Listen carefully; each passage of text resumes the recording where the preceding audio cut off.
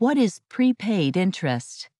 When you are at the closing of a real estate transaction, you may hear the term prepaid interest. Here is what it means. Prepaid interest charges are charges due at closing for any daily interest that accrues on your loan between the date you close on your mortgage loan and the period covered by your first monthly mortgage payment.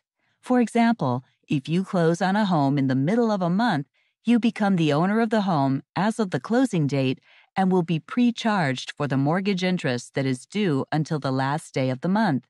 Lenders don't bill you for the interest due, instead, they include it in your closing costs. If you were closing on the last day of the month, you would owe interest for just one day, since the first full month's payment would be due on the first day of the next month. Monthly interest is paid in arrears. The reason for this is the manner in which mortgage loans are amortized.